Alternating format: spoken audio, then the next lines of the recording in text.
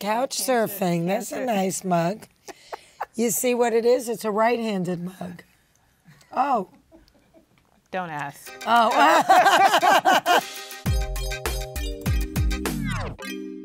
Welcome to Couch Surfing, the show where beguiling guests look back at their big roles, their little roles, and everything in between. I'm here with Fran Drescher. Fran! Hi, how are you? I am ecstatic. You ready I'm to happy surf? to be here. Yes, let's surf. Okay, we? sure. Like, Hang 10. Are you as good in bed as you are on that dance floor?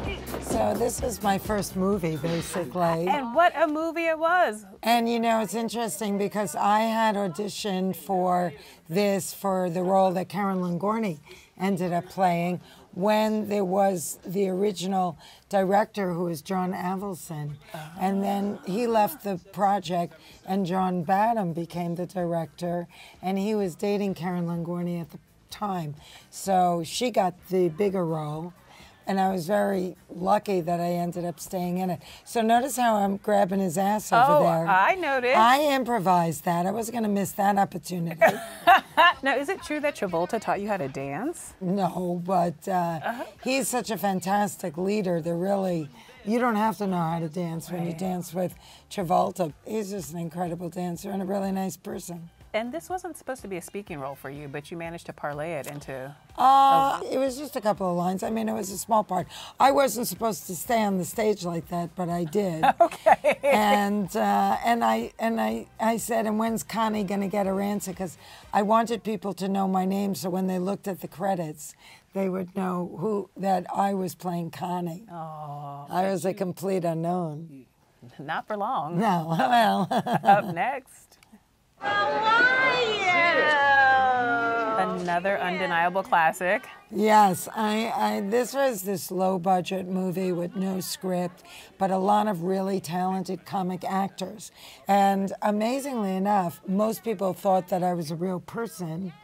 It wasn't really based off of anyone that I knew or oh, studied. Oh, really? I And was obviously, I was acting. You had this extensive outline, but no script, and Right. you're a big time He, record he said executive. the and you- points in, in each scene that we had to hit. Okay. So I needed to describe uh, the, what the album cover looked like. Okay. The girl on all fours with a dog collar, with a glove, and her, you know, being forced to sniff it. You know, this is a movie that's so revered by people in the music business. I love live music, and I go see concerts all the time.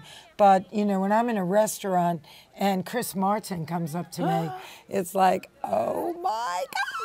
Mr. Then I'm in an elevator with Bruce Springsteen. Oh, And he says, oh. I don't want to bother you. Bruce, you can bother me. bother me anytime Bother you want. Anytime. All right. okay. Let's keep surfing. That's the real Chester Drescher. My uh, character had an obnoxious little dog. So I decided I have an obnoxious little dog in real life. So I'm going to take Chester to the screen test with Robin. And every time Robin made an overture to me, the dog started growling and barking at him. Look, look at him. I got into the car after and I called my manager and I said, you know, I don't know how it went for me, but I think Chester got the part. it uh, turns out we both got the part. He's so good, and it's so bittersweet to see Robin. I know. I mean, you two clearly have great chemistry. We do, we do. I mean- he was always a sad clown, though. He had a low energy unless, you know, he was drinking a lot of coffee or drinking a lot of cola.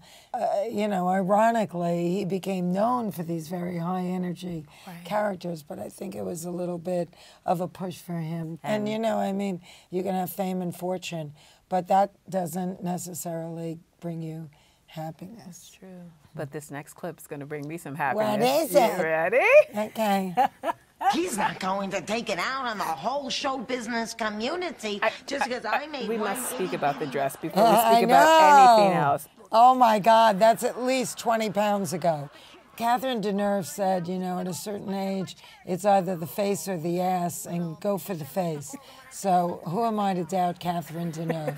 I go for the face now and forget the ass.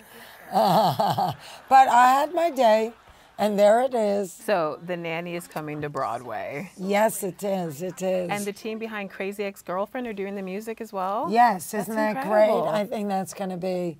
I mean, we feel so grateful that we're partnering with Rachel Bloom and her partner Adam. And she grew up watching The Nanny, so she totally gets the show. And we just handed her our book, and uh, now she's going to be turning it into music. Please tell me that the nanny theme song will make it into the We, Broadway would, we wanted to, yeah. It seems like it has to be. It Yeah, I mean, we don't know exactly where it's going to be, but we would.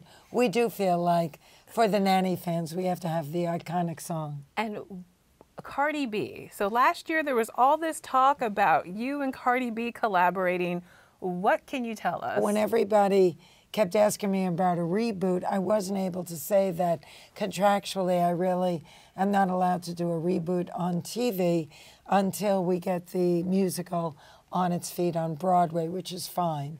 And then, you know, I know that Cardi B loves the nanny. Yes. And she's got uh, the style. yes. Uh, and she, I think she's very funny. She might be really great. And then I could always play her mother, Sylvia. Fran Drescher and Cardi B. I know. This How is cool would happening. that be? this is happening.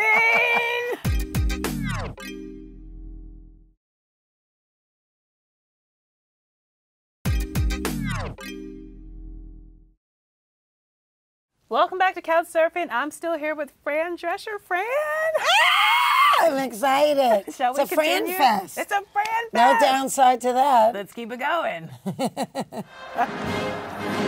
This was my all-time thinnest. Your all-time thinnest. I was really almost too thin. That's Uh-huh. your takeaway from this whole scene. We shot a, a great deal of the movie in Prague, so I got to really become familiar with the Czech Republic. And you produced know this as well, country. right? I was an executive producer on it, yeah. Paramount did not anticipate that opening at the same weekend as uh, Star Wars would be a problem. I don't know why they didn't think that, Why? but I, I knew we know. had problems when there was another movie that was slated to come out and they pulled it and they shoved us in. And I think ultimately it kind of hurt us, but maybe they felt like we were more of a family or a romantic comedy.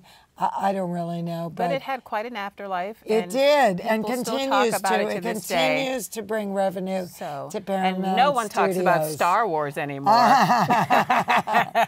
All right, up next. I lost my virginity to Neil that in your hand? That's a J, baby. this is Broad City. Yes. Did they reach out to you directly? How did yes, this come to be? Yes, they offered me this, and I was delighted to do it. And they were so very inspi- generous, you know. Yeah, they they said, "Were it not for you, we wouldn't be here today." It's really interesting to live long enough, I guess, and reach a certain height in your accomplishment that you really kind of fit into the history of uh, women in terms of being uh, creator, writer, producers, and stars of their own projects on television. So, Do you think the industry has gotten better in that regards? um, you know, I do think that there is a kind of a push right now to hire women, and that's a good thing. Yes. It'll be a long time before it's 50 50. I think that they found that, you know, uh, men seem to ask for what they want more Yep. than women do. That's very true. and girls are conditioned at a very young age to kind of, you know, step aside. Right. You know, we have to stop that. All right, up next. That, that is my emergency disaster kit. Ah, boy, I was So? wondering why. Indebted. I know this is the new series, And it's a look at me and Steven Weber. I mean, we're totally playing a hot, loving couple Yes. who happen to be grandparents. You do not. We're very like tactile. See how he's hugging me there? yes. We kiss and hug and and insinuate that we're very sexual creatures. And I think that you know, if I got to play a grandmother, I might as well be a hot one, right? And you're back in front of a studio audience. I know That that's fun. Really exhilarating, That's fun, right? yeah, yeah, They give a, they infuse a lot of energy to the performance, and I really enjoy doing multicam. The energy and the comedy is more presentational. It's a little bigger, And I think it's fun for the at home viewer. Okay, so let's talk about Cancer Schmancer. It's hmm. your movement that you started years ago. Yeah, every performance for the live audience, we show the teaser for our Jamie Foxx education video that targets teens and tweens, and I'm in it and Jamie's in it. We're all about detoxing your life. Yes. Because that's what creates dis-ease. I hope everybody goes to cancerschmancer.org and um, signs up because we just open you up to the most mind-blowing information you are never going to hear at your doctor's office. I use parchment paper because of you. Oh, good. Yes. Oh, isn't that wonderful? Yes, thank you.